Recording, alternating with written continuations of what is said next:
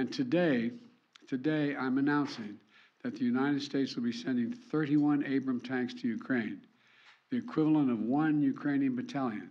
Secretary Austin has recommended this step because it will enhance the Ukraine's capacity to defend its territory and achieve its strategic objectives. The Abrams tanks are the most capable tanks in the world. They're also extremely complex to operate and maintain. So we're also giving Ukraine the parts and equipment necessary to effectively sustain these tanks on the battlefield.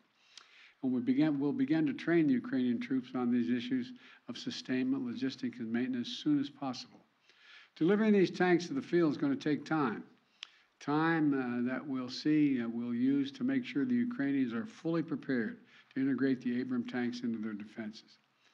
We're also closely